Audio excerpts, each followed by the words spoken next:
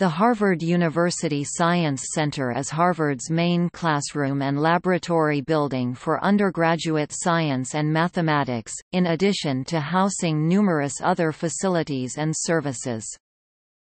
Located just north of Harvard Yard, the Science Center was built in 1972 and opened in 1973 after a design by Josep Lluís Sert, then Dean of the Harvard Graduate School of Design.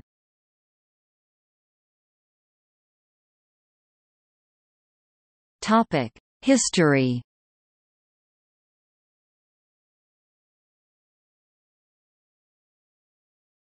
Topic: Planning.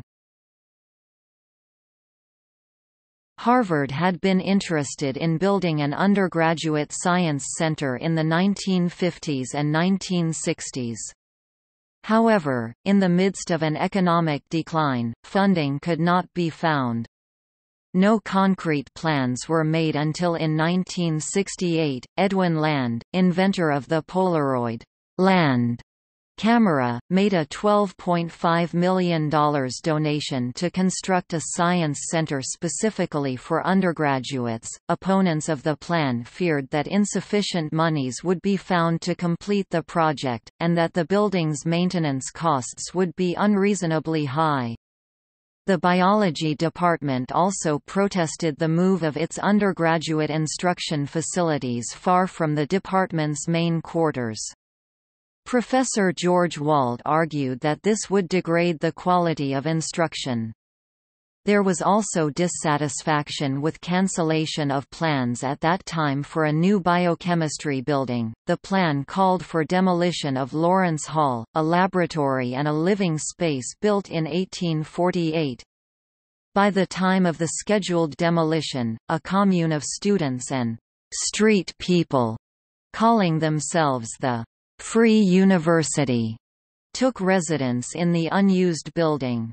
The controversy was rendered moot when fire gutted the building a month later in May 1970. As part of the project, in 1966 68, the portion of Cambridge Street running along the north edge of Harvard Yard was depressed into a four lane motor vehicle underpass, thus allowing unhindered pedestrian movement between the Yard and Harvard facilities to the north, including the new Science Center.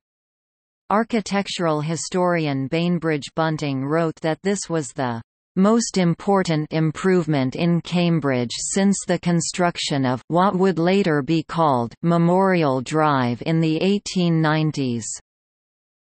The large plaza that was created between the Science Center and the northern boundary of Harvard Yard is used at various times for food trucks, roller skating, ice skating, and tents housing temporary events. Near the main entrance to the Science Center is an installation of large boulders and landscaping which operates as an outdoors fountain during good weather.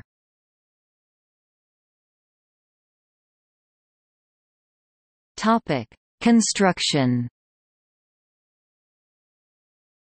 Harvard commissioned architects Sert, Jackson and Associates to design and build the facility.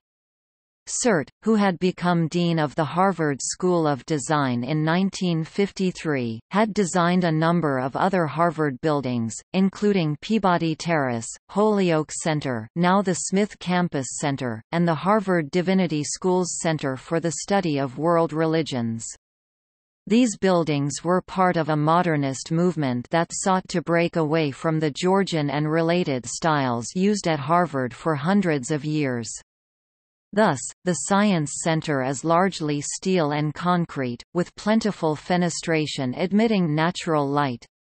Construction lasted from 1970 to 1972, from 2001 to 2004 a $22 million, 32,000 square foot 3,000 square meters renovation created space for the collection of historical scientific instruments and expanded other facilities.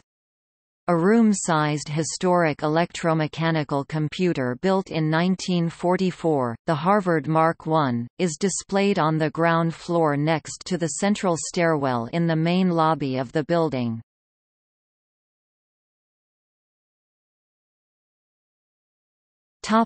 Facilities. The Science Center comprises nine stories, plus a basement and observatory floor. It houses the History of Science, Mathematics, and Statistics departments. Other facilities include Cabot Science Library Derek Bok Center for Teaching and Learning, dedicated to enhancing the quality of instruction at Harvard Collection of Historical Scientific Instruments CHSI, housing the history of science department's 20,000 objects, dating back to 1400 Five large lecture halls, seating between 132 and 500 15 smaller general-use classrooms. Teaching laboratories for chemistry, physics, biology, and other sciences Rooftop astronomical observatory with large telescopes. Faculty and staff offices secreted beneath the Science Center itself and its courtyard and largely unknown those who work and study at Harvard is a gargantuan chilled water plant. A magnificent Piranesi-like interior with the volume of Boston's Symphony Hall providing cooling to much of Harvard from the Science Center northward.